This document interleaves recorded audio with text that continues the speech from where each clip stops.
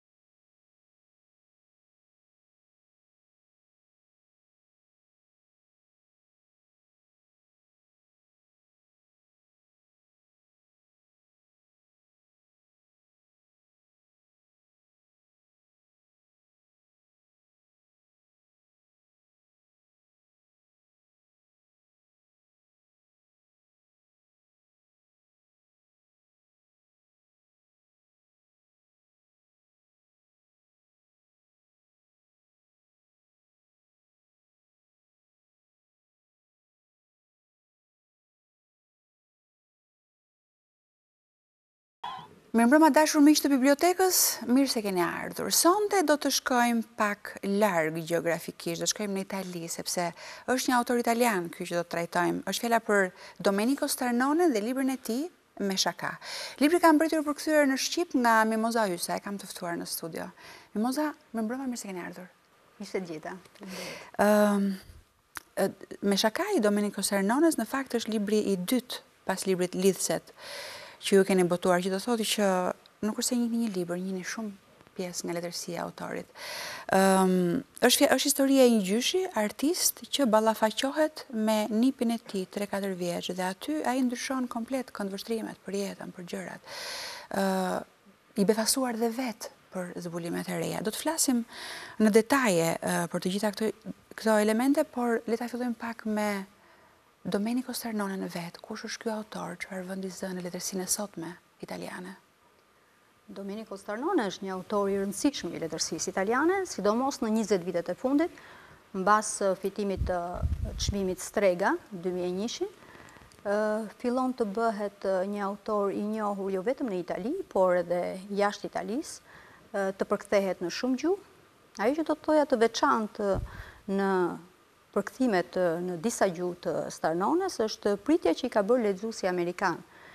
Kjo ka qenë disi befasuese edhe nga përkthyesja që është marrë ekskluzivisht me Starnonen. Përkthyesja e Starnones në gjuhën angleze është Xhumba Lahiri, është një fituese e çmimit Book Prize, pra është një autore e njohur, Një autore e njohur dhe shumë e rëndësishme, ndërkombëtare, e cila nuk është përkthyese. Nuk është përkthyese, po ka zgjedhur që të çojë në gjuhën angleze pikërisht këtë autor, Starnonen, dhe ka përkthyer tre libra të Starnones që janë tre libra të ardhur mbas çmimit Strega. E ka argumentuar ajo Zgjedhjen pse e ka bërë?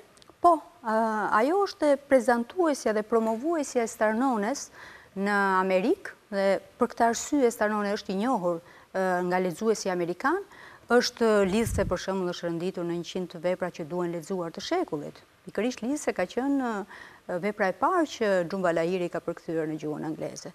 E ka zgjedhur për disa arsye. E ka zgjedhur sepse letërsia e Starnones premton për lexuesin amerikan. Është një stil lakonik, me një dialog të zhdërvjellët, i ndërtuar me befasi dhe lehtësisht i përtypshëm, si të thuash, për lexuesin amerikan dhe për më tepër Xhumpa Lahiri është vendosur në Itali për të praktikuar dhe më mirë gjuhën italiane dhe ka zgjedhur të ketë të bëjë këtë rrugë komunikimi, këtë rrugë lidhjeje të këtij autori më të pëlqyeshëm prej saj dhe përkthimit të tij në gjuhën angleze. nuk është vetëm ky fakt, ky është një fakt anësor në fakt për për atë çfarë zë Starnone në letërsinë italiane. Unë do të thoja që është nga personazhet më atipik, edhe në mënyrën se si ka bërë karrierë, dhe në stilin që përcjell, dhe për mënyrën se si ka kaluar e ka filluar karrierën shumë vonë, 50 vjeç bëhet i njohur, pra ka një karrierë si mësues në fakt dhe bëhet i njohur në një moshë disi të shtyrë. Po për këtë ndoshta do të flisja në veçanti për karrierën e tij, po duhet të them që është një autor i rëndësishëm, është një autor i veçantë në stilin e tij dhe shumë i pëlqyeshëm nga lexuesi, radhë parë. Ende pa hyrë te libri, dua të rri dhe tek një detaj që për cilin është përfolur shumë. E kam fjalën për Elena Ferranten dhe librat e saj Mikesha Gjeniale. Është përfolur që Elena Ferrante është vetë Starnone, është përfolur që Elena Ferrante është gruaja e Starnones, pra ka hipoteza të ndryshme. Vetë Elena Ferrante ende nuk dihet se kush është. Ka mbetur, është shfaqur si pseudonim dhe ka preferuar të mbesë si pseudonim pa u identifikuar edhe pse librat e saj janë bërë shumë të famshëm. Në gjykimin tuaj, po ndoshta jo vetëm në gjykimin tuaj, në ato që çfarë thonë gazetat apo studiues apo njohës të letërsisë edhe në Itali. A ka pika përkimi midis Elena Ferrantes dhe Domenico Starnones në letërsi? Pra, a mund të thuhet që Me shaka dhe Mikesha gjeniale kanë elemente të përbashkëta ku mund të zbulohet i njëjti autor? Shiko, edhe kjo thashetemnaja e madhe të përkimit të këtyre dy autorëve e ka bërë të veçantë Starnonen. Kur thashë shkrimtar atipik, iu referova stilit, por në fakt është i veshur dhe me këtë lloj misteri, që autori vetë parapëlqen që në promovimin e tij të mos përmendet një fakt i tillë, sepse natyrisht mendon dhe çfarë është e drejtë të mendojë që ulen vlera të krijimtarisë së tij. Në të vërtetë, misteri që zgjat tashmë prej vitesh, kemi të bëjmë me dy autorë që e ndërtojnë karrierën paralelisht, nëse Starnone boton veprën e parë në 87-ën, por bëhet i njohur në 2000-shin, dhe në 2001-shin fiton çmimin Strega, Ferrante boton në nëntëdhjetë e dyshin dhe paralelisht në dy mijë e njëmbëdhjetën, dhjetë vjet pas çmimit Strega të Starnones, bëhet e njohur me sagën e sagën e saj të të mikeshave gjeniale. Nëse heqim gjithë këtë mister apo këtë abuzim si të thuash që media ka bërë me të dy emrat, duke pretenduar që është e shoqja e Starnones, është përkthyesja e njohur Anita Raja, që edhe ajo është rrëfimtare, të themi, se më shumë shkruan tregime, pra një shkrimtare modeste. Ajo boton tregime me emrin e saj të, po, vërtetë? Po, ajo boton tregime me emrin e saj të vërtetë. Nuk ka një karrierë shumë të spikatur, megjithatë është një autore interesante. Ajo çka mua ose kritikën letrare tashmë e ka bërë që të ta studioj veçanërisht dhe të ngrej pikëpyetje, të fillojnë të shikojnë të dy përkimet e autorëve, është interesante të shikohet dhe dhe të të gjurmohet në atë çka kanë lënë në krijimtari së bashku. Nuk bëhet fjalë vetëm për tematikat e njëjta. Ata të dy i referohen Napolit, të dy autorët, të gjithë burimin e rrëfimeve të tyre e kanë nga Napoli, dhe një fakt tjetër interesant që ka gjurmë, janë gjithmonë rrëfime familjare, po ka disa kalke që janë kalke stilistikore, leksikore për më tepër, është pak vështirë që të kesh një kalk leksikor të përafërt te dy autorëve. Qoftë në ndërtimin e rrëfimit, për shembull, nëse marrim vëllimin e parë të 92-shit të Ferrantes, i dedikohet të ëmës, është një roman autobiografik pak a shumë, siç është dhe Via Xhemito në dy mijë e njëshin që boton Starnone. Ndërkohë, aty ka një, një personazh që është babai, dhe personazhi i babait në fakt është personazhi kyç i krijimtarisë së Starnones, po që vihen re shumë përkime me personazhin baba edhe te Ferrante.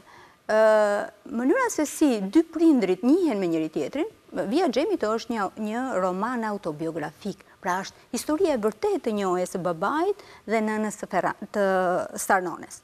Dhe momenti se si ata njihen, pak në mënyrë të çuditshme që i ati e ndjek pas këtë vajzë të heshtur që po po kalon rrugën, se si takohen dhe ai është gjithmonë një njeri që i jep shumë vetes, që e mban veten për artist, në fakt është punëtor hekurudhe dhe realisht babai i Starnones ka qenë punëtor hekurudhe i cili dhe pikturonte. Dhe në romanin e Ferrantes është një piktor dhe një punëtor hekurudhe, por mënyra se si parapëlqen, sidomos t'i zbërthejë nga ana psikologjike është më interesante.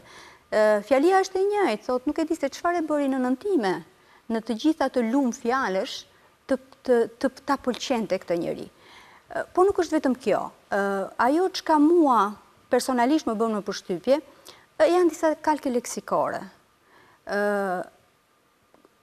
Tek romani i Ferrantes ka një familje, Nino Serratore është një i dashuri i të dyja vajzave. Ka një pikë kyçe në roman. I dashuri i të dyja vajzave që ka një familje me pesë fëmijë, që është e njëjtë me familjen e Starnones, duket si anagramë Serratore me Starnone Narratore në fakt. Dhe i ati është edhe ai një punonjës hekurudhe, aty është poet, tek Via Xhemito është piktor, siç ka qënë, dhe në personazhet e piktorit, mënyrën se si emërton ngjyrat, Është interesante të shihet që ngjyrat e piktorit të Starnones, babait Starnones, emërtohen si okra për shembull e tokës së djegur të Sienës, apo bluja e Bavarisë.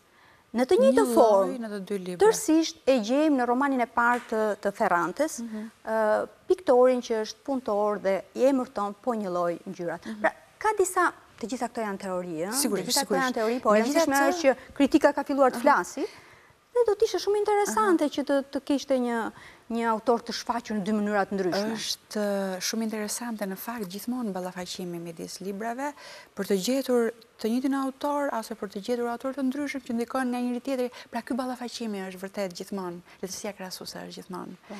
është gjithmonë një arse. Po ne do të rrimë tek Starnone dhe kryesisht tek Me shaka që është dhe libri i fundit që ju keni përkthyer nga ky autor italian. Ju përmendët disa karakteristika, disa vlerësime për këtë autor dhe letërsinë e tij që e kanë nxitur shkrimtaren amerikane që ta përkthejë. Një nga karakteristikat që do shtoja unë duke lexuar këto dy libra të Starnones që kam lexuar është Të qenit një letërsi thellësisht psikologjike. Cili është terreni ku ai endet duke kërkuar të gërmojë apo të interpretojë psikologjikisht? Unë do të thoja që Starnone është shkrimtari që Ashtu si thotë Heminguej në thënien e tij që e mira është që shkrimtari t'i marrë personazhet edhe jetën nga ajo çka ka jetuar vetë, se do të ishte më i besueshëm, kjo do i shkonte shumë për shtat Starnones.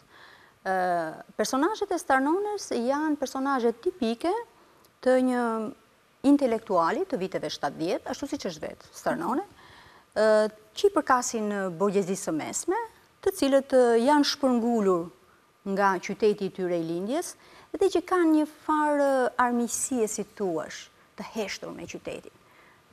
Kjo është një nga Temat që e ndjek pas Starnonen. Napoli është qyteti që nuk i do intelektualët ose nuk do si të thuash sjelljen me shumë edukatë dhe të stërholluar. Sepse është pak tradicional. Është më i vrazhdë si qytet.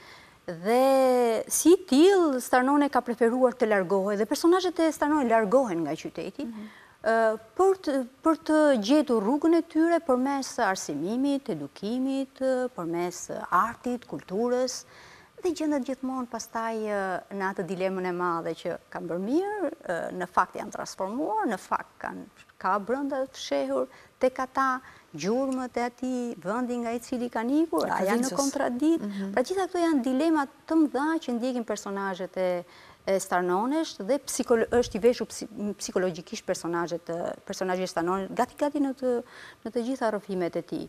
Pra, ky është truolli, si thuhet dhe ambienti ku ku ai gjen personazhet. Ashtu siç ka atë dilemën tjetër pastaj që janë gjithmonë tema familjare, ai lëviz në këtë truoll, në temat familjare, në kontraditat në familje dhe ë, ka një kontraditë të, të përhershme me, me, me autoritetin e babait. Edhe në romanin autobiografik, Starnone thotë që nuk doja kurrë t'i ngjaja babait. Edhe bile kur edhe kur më thonin që ec si babai, mundoja të ndryshoja ecjen. Dhe vërehet kjo lloj kontradite. Në të gjithë romanet e tij, është si të thuash një luftë për të mos pranuar origjinën e prejardhjen që i krijon problem. Libri titullohet Me shaka. Aty ka në fakt një lloj loje, një lloj shakaje që i vogli do të bëjë. Megjithatë, në mënyrën se si zhvillohen ngjarjet, ka më shumë tension, ka më shumë frikë, pra vështirë që ajo që ndodh të merret me shaka. Pse ai ka zgjedhur këtë fjalë për të identifikuar rrëfimin e vet? Është në stilin e shkrimtarit në fakt që të gjejë fjalë të shkurtra, fjalë kyçe, që janë si strumbullari në të cilin sillet i gjithë rrëfimi. Madje janë fjalë të cilat krijojnë shumëkuptimshmëri në mhm. tekst. Kështu në, në romanin e parë Lidhëse për shembull, Laçi, lidhëse nuk është thjesht lidhëse që lidhin këpucët. Mhm. Dhe pse skena kryesore, në fakt skena më befasuese është ajo e lidhjes së këpucëve që fëmija nuk di t'i lidhë këpucët dhe babai që ikën nga shtëpia, ishte ai që ia lidhte gjithmonë. Por janë lidhjet që ne krijojmë në familje dhe ato lidhje që na mbajnë shtrënguar gjithmonë, edhe ndoshta shpesh ndihemi keq me këtë lloj. Po kështu edhe në, te ky roman Skerceto, është Titulli në origjinal që mund të përkthehej me shaka, është lojë, është shaka, është e thashë për shaka ose e thashë me shaka etj etj. Është fjala që përdor fëmija, katër mhm. vjeçar, sa herë që bën diçka që nuk i shkon për shtat gjyshit. Është një lloj lajtmotivi në fakt në po, libër. Po, dhe dhe ai e përsërit gjithmonë që ishte shaka, ishte thjesht për të zbutur pak tensionin që ka fëmija me gjyshin. Ë në fakt romani nuk është gjithçka përtej shakasë. Mhm. E gjitha nuk është shaka. Është është një lojë e hidhur, si të thuash, me me shumëçka që autori do të paraqesë si vetveten, gjetjen e vetvetes, ballafaqimin me vetveten e humbur, me pleqërinë dhe me shumë probleme të tjera që shfaqen. Pra, dua të them që ruajtjen e titullit si një titull simbolik, është në stilin dhe në prirjet e shkrimtarit, madje edhe edhe romani që kam pas këtij romani, janë tre romane të shkurtër në fakt, që janë me një titull të me një fjalë të të titulluar konfidence për shembull po njëlloj është me një fjalë. Edhe ai nënkupton shumë shumëçka tjetër përpos fjalës në vetvete. Deri tani folëm për Starnonen duke duke parë libra të ndryshëm të tij, duke bërë krahasime, duke bërë paralele. Përpara se të fillojmë të flasim mirëfilli për librin me shaka, le të zbulojmë pak me pak fjalë subjektin, aq pak sa të mos e humbim kureshtjen e lexuesit. Është fjala për Danielin, 75 vjeç, i cili është Babai tashmë është është shndërruar në gjysh. Danieli është gjyshi i një djali të vogël 4 vjeçar është piktor, është në në në në në aktivitet profesional, ai vazhdon dhe punon, është ilustrator më shumë sesa piktor. Në një moment të caktuar, ai merr nga E bija një kërkesë që të shkojë e bija jeton në Napoli, ky jeton tashmë në Milano sepse ka ecur, është personazhi që ju deri tani e shpjeguat që ikën nga nga nga vendi i fëmijërisë, ikën nga provinca për të për të gjetur vendin e vet që mendon se e meriton në qytetin e rëndësishëm në qendër pra.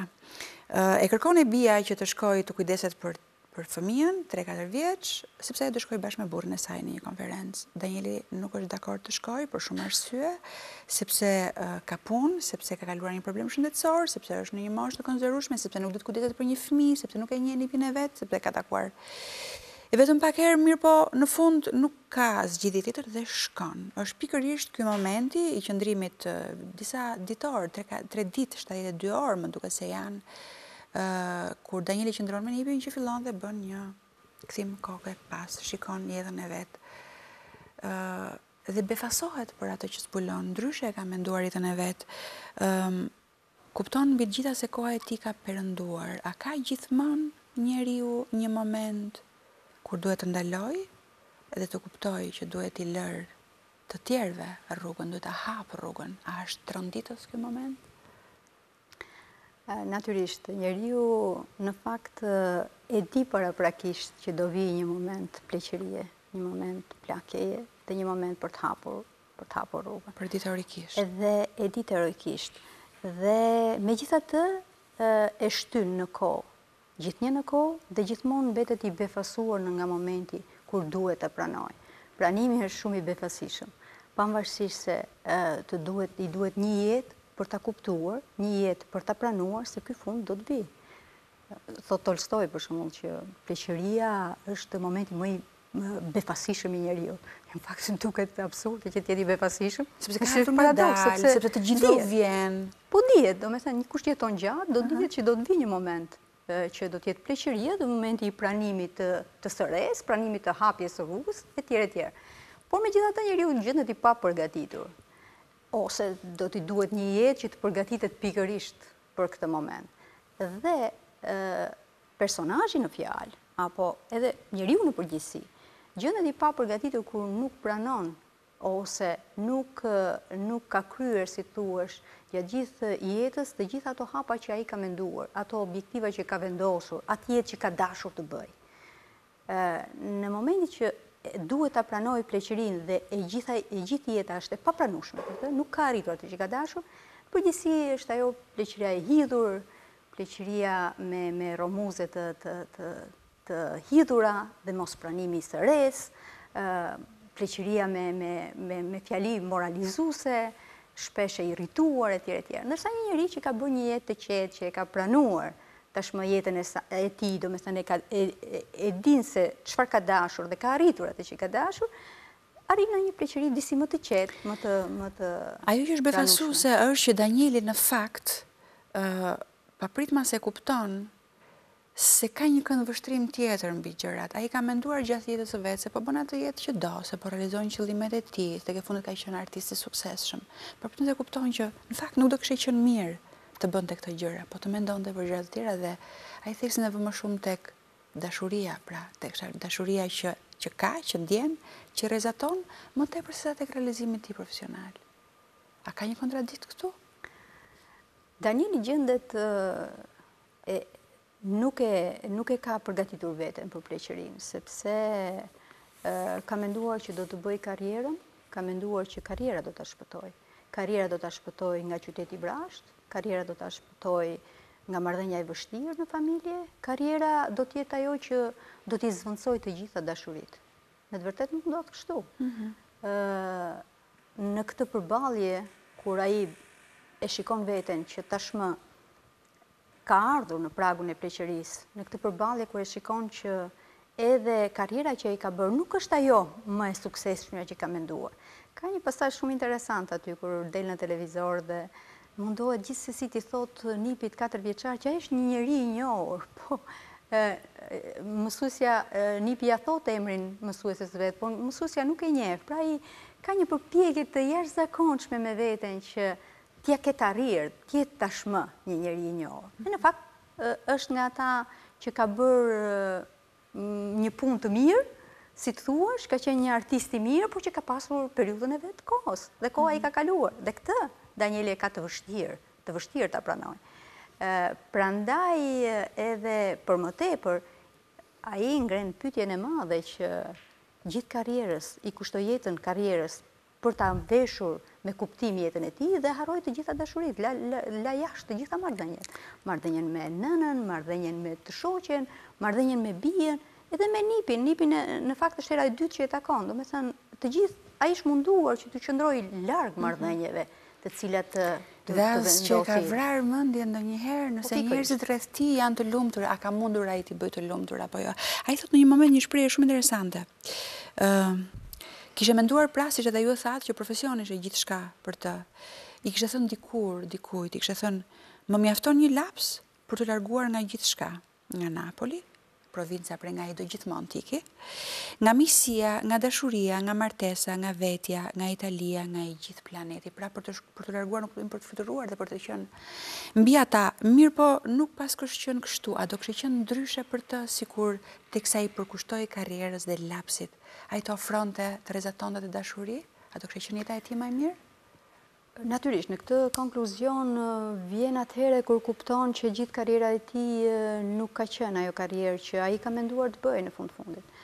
Dhe gjendet i humbur në të gjitha gjërat e tjera që mund të mbillte dhe mund të ushqente gjatë gjithë jetës së tij, sepse është fokusuar në egoizmin e tij, në ndërtimin e personalitetit të, të vet si artist, duke harruar qenien si njeri. duke harruar vendosjen e urave të komunikimit me njerëzit e tij, me qytetin e tij, edhe gjendet tashmë në një jetë të dështuar, për sa i përket marrëdhënieve familjare dhe marrëdhënieve si njeri. Dhe natyrisht që kjo dilemë i lind pikërisht në një moment autori ka ditur me shumë zgjuarsi të ndërtojë të ndërtojë narracionin në mënyrë të shkëlqyer që dhe kjo është aftësia e Starnonës në fakt. ndërton rrëfimin me ngjarje të që ndjekin njëra tjetrën duke mos të lënë kohë, ti gjendesh përpara ngjarjes, mhm. gjendesh përpara pyetjeve që ngrihen dhe përpara një përfundimi që s'është asnjëherë përfundimi, përfundimi i lihet gjithmonë lexuesit. Mënyra se si e lëviz ngjarjen Starnone është si në një teatër që ndërrohen skenat shumë shpejt dhe asnjëherë nuk ka një emër të përcaktuar qartazi, janë gjithmonë të lëvizshme dhe i lënë mundësi lexuesit pastaj që të fusi mendimin e tij, që të ngrihen pyetje dhe të ta rikthejë historinë, ta rishikojë ndryshe, se si do të ishte ndryshe, por asnjëherë shkrimtari nuk thotë fjalën e fundit për atë që ka shkruar. Një nga tjetër karakteristikat interesante e këtij libri është fakti është një lloj pezullie që krijon autori, një lloj gati gati ke një lloj frike kur e lexon atë libër, një frikë për atë që çfarë mund të ndodhë.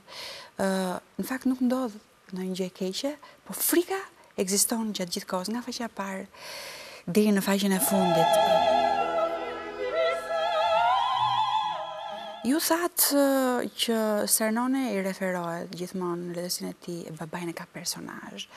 E thamë pak më parë që babai në këtë libër është shndërruar në gjysh. Pra, personazhi qendror i librit është përballë nipit 3-4 vjeçar, është pikërisht nipi që i thotë për herë të parë që pikturat e tua nuk pëlqejnë, janë shumë të errëta. Ai s'e kishte menduar kurrë që mund t'i thoshe dikush kështu. Në fakt, pikturat e tij gjithmonë ia kanë vlerësuar, ia kanë pëlqyer, pavarësisht se mësuesja nuk e njeh, mësuesja tek fundit është jeton në një qytet provincial. Ai ka qenë i suksesshëm. Vetëm mbasi ia thotë nipi, atij ia thotë edhe botuesi të njëjtat gjëra. Me sa duket nipi paska pasur të drejtë.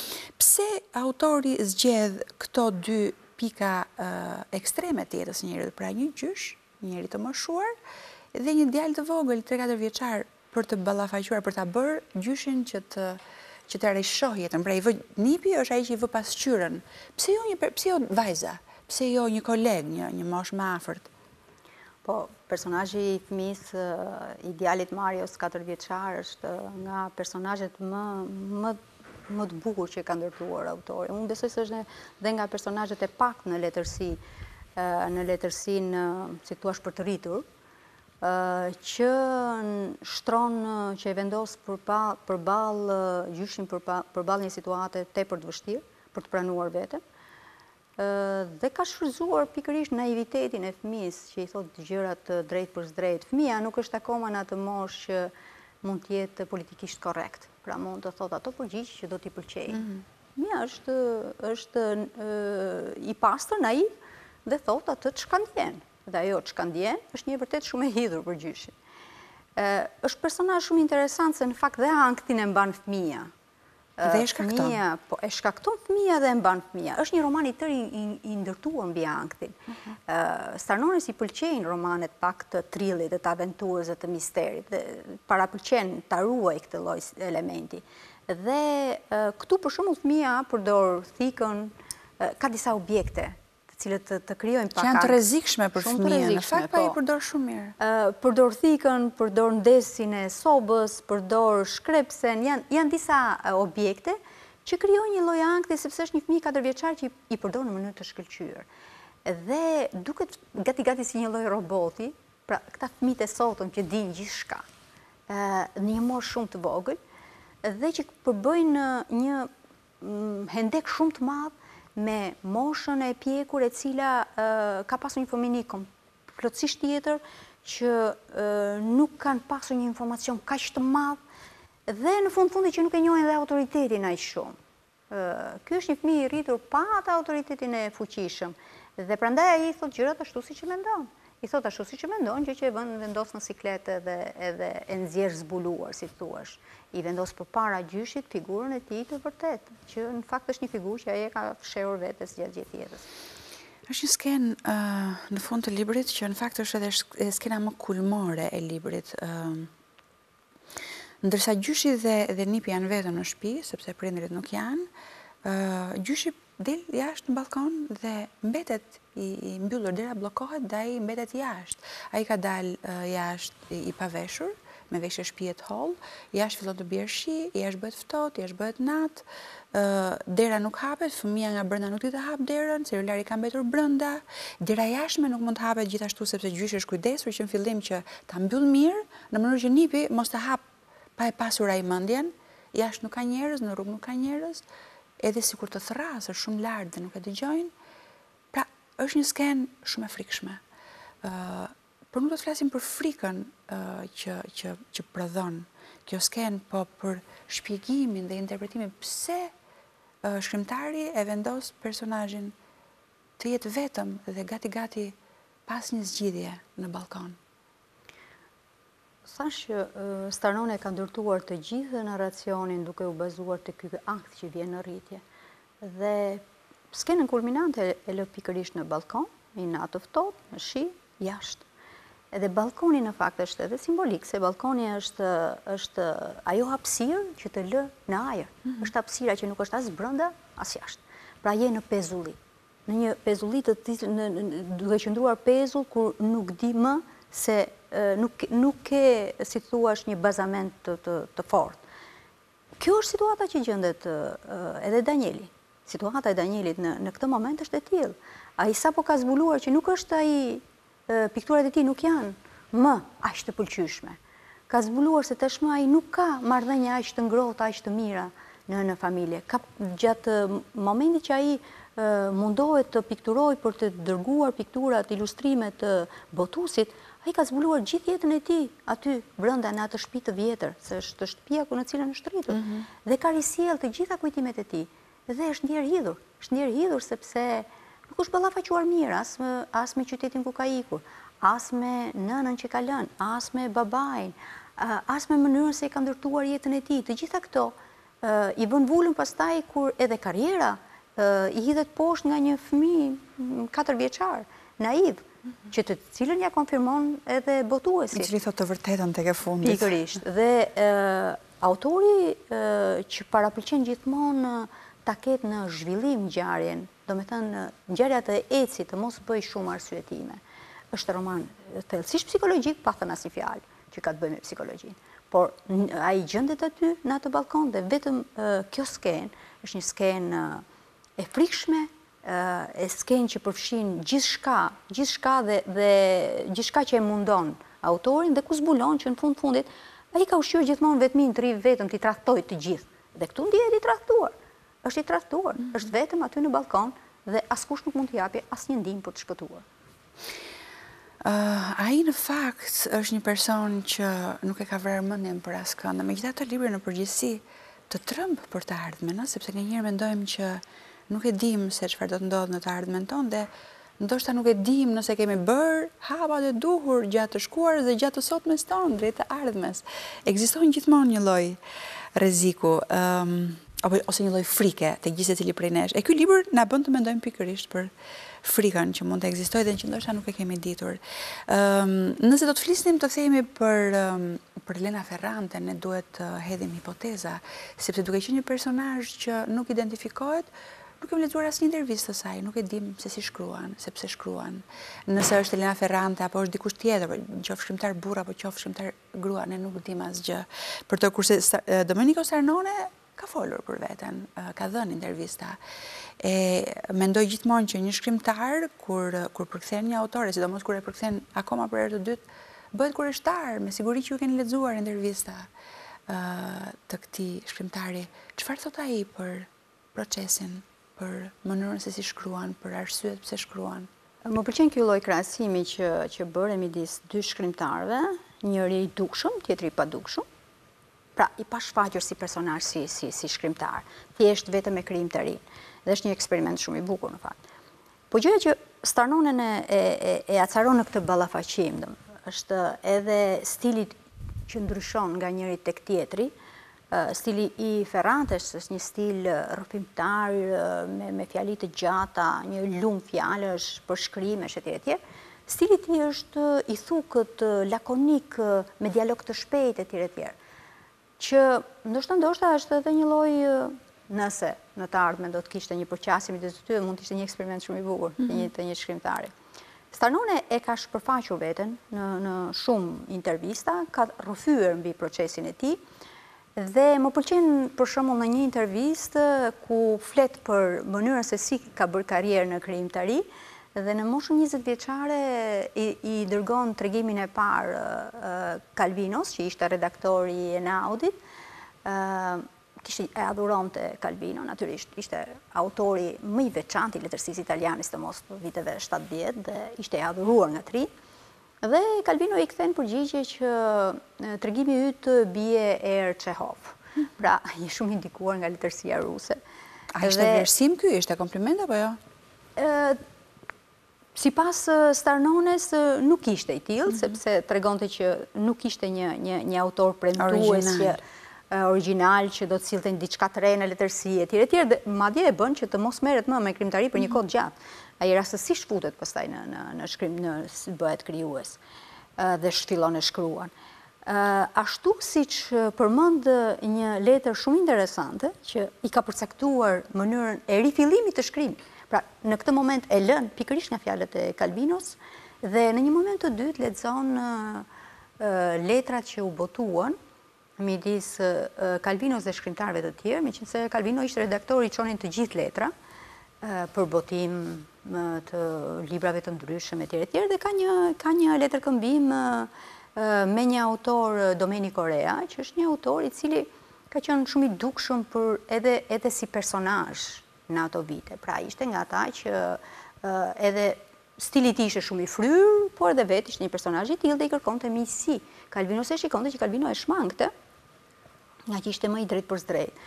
Përgjigja e Kalvinos është përgjigja emblematike në fakt që që edhe përcakton ecurinë pastaj të Starnones, sepse i thotë që së pari unë parapëlqej klasikët, dhe kjo do të thotë që më duhen pak fjalë për të thënë atë që dua, jam ligur dhe i bie drejtpërdrejt, dhe së fundmi pastaj nuk më pëlqejnë fare njerëzit që thonë fraza të tilla si shpirti im, meqenëse Domeniko Rea i thoshte shpirti im është ndryshe nga ai çka duket.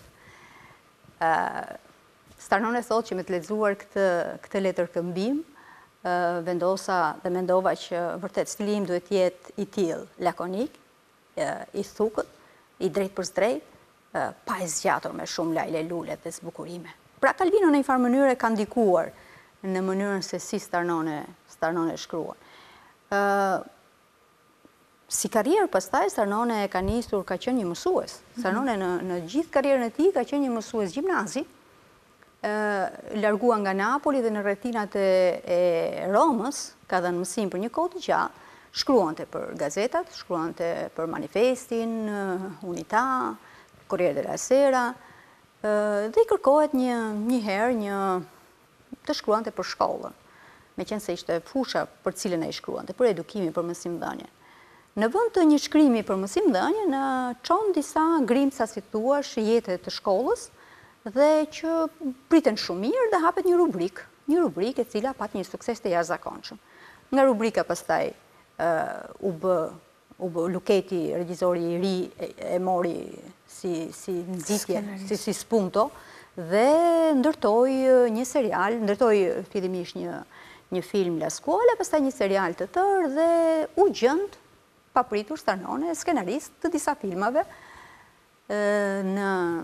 u gjend në kinematografi dhe ai ashtu thotë u gjenda nuk është se isha përgatitur për të qenë i tillë dhe pastaj rimerr rimerr shkrimin rimerr shkrimin në një moshë të pjekur dhe fillon të botojë boton librat e parë janë po për shkollën po në këtë ambient ai këtë ambient njeh mirë po mua më duket se është ambienti që ka dashur të ndërtojë duke u shmangur Napolit Është dhimbja e tij, është ajo gjë që ai nuk e ka zgjidhur me veten. Dhe kur i rikthehet me Via Gemito në dymijën, ai fiton çmimin Strega dhe bëhet i njohur. Mm -hmm. Pra kur i rikthehet vetes, kur i rikthehet atij personazhi që psikologjikisht e vesh me veten, me atë që i ka munguar gjatë gjithë jetës, me atë fantazmë që i fshihet herë pas herës, edhe edhe në romanin Daniele çfarë bën? I fshihet fantazmës vetë. I fshihet asaj çka ai mund të bëhej po të kishte qenë në Napoli. Edhe mënyrën se si e ka ndërtuar romanin. Ka dy pjesë romani dhe këto librat e shkurtër ka një stil në mënyrën e ndërtimit. Mhm. Që është është është për t'u përgëzuar mënyrën se si e ndërton narracionin. A i zgjidh shkrimtari nëpërmjet letërsisë së tij, nëpërmjet shkrimeve të tij, problemet që ka me veten? Jo, nuk besoj. I shfaq, mhm. i diskuton, i hedh për diskutim. Por kjo nuk mjafton për të zgjidhur. Por Starnone pastaj në të gjithë letërsinë e tij nuk jep asnjëherë mbyllje. Romanet e tij janë të hapur.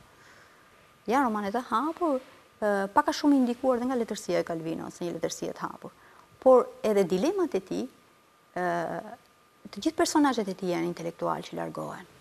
Herë, për shembull tek romani ndër të parët që ai ka është Kërcimi me grep, me, me salto con le aste, aste janë edhe shkopi që hidhesh për kërcim së larti, po janë dhe grepat që bën fëmija. Mhm. Dhe pikërisht në edukimin, në largimin, në largimin nga qyteti duke u kulturuar më tepër, në këtë karrierë që ndërmerr si mësues, si si edukator, ai mundohet t'i shmangë pikërisht përplasjen me me qytetin e tij, me vendin, me origjinën e tij. Në një roman tjetër është një shkrimtar që bën të njëjtën gjë, një piktor kemi në rastin në rastin e këtij romani. Pra janë gjithmonë intelektualë të cilët e kanë të vështirë përballjen me qytetin e tyre dhe shtron një pyetje të madhe, që në fakt është dhe dilema e Starnones. Që kultura, edukimi do ta shpëtojë vërtet njeriun, do t'u japi zgjidhje dilemave të tij? Çfarë është Napoli në konceptin e italianëve që ky shkrimtar kërkon të distancohet prej këtij qyteti?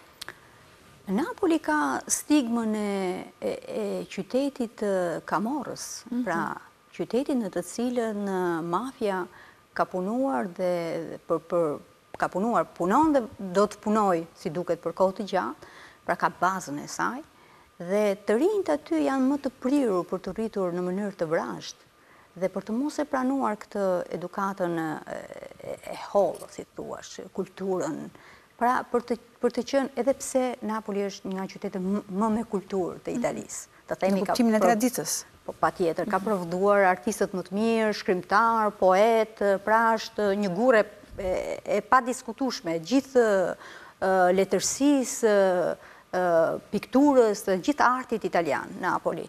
Megjithatë, jeta në Napoli, duke qenë se ka qenë një nga është nga qytetet që ka prodhuar këtë këtë dhimbje të madhe, Është një jetë më, si të thuash, më e vrazhdë sesa në qytetet e veriut apo në qytete më të kulturuara dhe prandaj më me një jetë më të qetë, të themi, jo më të kulturuar, nuk më pëlqen ta përdor këtë, sepse Napoli është vërtet qytet me një kulturë të lashtë. Po dhe fjala kulturë ka ka këndvështrime të ndryshme nga shihet, hë? Natyrisht, jeta është më e tensionuar në Napoli. Dhe Prandaj edhe autori ka zgjedhur dhe shumë zgjedhin në Itali, të largohen nga jugu i Italisë, nga Siçilia, nga Napoli dhe të shkojnë në veri për të pasur një karrierë tjetër, për të për të për të zhvilluar veten në një formë tjetër. I ofron më shumë tek e fundit, qytetërimi i zhvilluar, veriu, ndërsa në jug bëhet një jetë, në jugun e Italisë bëhet një jetë disi më më primitive. Po problemi është pastaj në rikthimin sepse Ajo çfarë të ka ngjizur në atë qytet, në atë vend, nga nga ku ke prejardhur, nga dhe përbën edhe identitetin tënd dhe është vështirë ta fshish. Është ajo që do të zgjojë përherë, do t'i kthehesh gjithmonë dhe që të kërkon përherë përgjigje, domethënë ti do të kthehesh patjetër për të vendosur paqen. Mhm. Një intervistë e fundit që Starnone ka dhënë, ishte gjatë karantinës, që ishte edhe këtu te ne njëkohësisht edhe në Itali, me sa duket ishte e nevojshme që edhe disa emra të njohur, mes tyre dhe emrat e letërsisë, të jepnin një këndvështrim për karantinën që ishte e vështirë në fakt psikologikisht për të gjithë njerëzit. E Starnone aty thotë në një moment intervistës gazetarja i ka kërkuar që që t'i thoshte frazën që e shoqëronte gjatë gjatë karantinës, gjatë asaj kohe të izolimit të vështirë. Dhe fraza që Starnone thotë është gjithçka kalon, një e mirë ose një e keqe do të vijojë të kalojë deri në fund. Dhe e mbyll me Leopardin që thotë se në fund do të mbizotërojë një heshtje e zhveshur dhe një qetësi e përhershme është e bukur, është poetike dhe ka nevojë për shpjegim duke qenë e tillë. Më bën përshtypje në fakt që ka marrë, ka përzgjedhur këtë frazë të Leopardit që vjen nga që është fraza në fakt që përmbledh gjithë atë filozofinë e trishtimit të Leopardit tek tek Galo, Galo Silvestre, në mos gabohem, pikërisht aty tek veprat e Leopardit dhe që Galo Silvestre është gjeli i pyllit, gjeli i egër, i cili ka kokën lart dhe këmbët në tokë, po koka dhe lafsha i shikon lart, drejt hiqit, drejt asgjës. Mhm. Pra, se jeta në fakt kalon pikërisht në këtë lloj, në këtë lloj ecurie, ne ngjitemi drejt asgjës, drejt hiqit. Dhe, ka dashur të japë këtë lloj sigurie që në fund fundit, në fund fundit, të gjithë na pret i njëjti fat. Pavarësisht se kemi frikën për herë do jemi apo s'do jemi gjallë. Dhe një situatë e tillë pandemia në fakt i ka vënë në pikëpyetje të gjithë e për këtë akt dhe këtë frikë ndaj jetës. Sidomos këtë lloj ballafaqimi që ka letërsia apo arti me me shkencën, sepse do duhej që shkenca të jepte përgjigje ekzakte. Dhe kjo ka të ka mundur. Duke menduar që shkenca ka ecur shumë në këto vite, njerëzit ishin si të thuash të qetë që do të ishte një përgjigje e saktë nga shkenca dhe u gjendën të befasuar se njeriu nuk trëmbet nga ajo çka di, trëmb nga ajo që nuk di, nga padija. U gjendën në një moment me diçka të re, të panjohur, të cilës nuk mund të jepin shpjegim dhe prandaj janë pyetur shumë shkrimtarë, sepse shkrimtarët japin një përgjigje që ka të bëjë me përvojën, emocionin, ndjenjën, me atë që përjetojnë, jo me saktësinë. Megjithëse ndonjëherë edhe të ngatërrojnë shkrimtarët. Po natyrisht, natyrisht. Duke mos qenë të shkencës ekzakte. Po pikërisht. Mirë, unë dua ta mbyll me një thënie të Starnones nga libri. Ai thotë, Sa shumë e duam të gjithë shpirtin tonë llafazan. Mundimi fillon kur e hedhim në botë dhe kërkojmë që ta duan edhe të tjerët sa e duam ne. Gjë e pamundur. Pas mundimit vjen dëshpërimi. Moza Hysa, faleminderit që ishe në Bibliotekë. Falënderoj. Të dashur miq, faleminderit dhe ju që na ndoqët në këtë bisedë me Mimoza Hysën, shkrimtare dhe në këtë rast përkthyesja e librit Me shaka të Domenico Starnones. Është libri për cilin folëm në këtë bisedë. Edhe një herë faleminderit dhe mirupafshim pas një jave.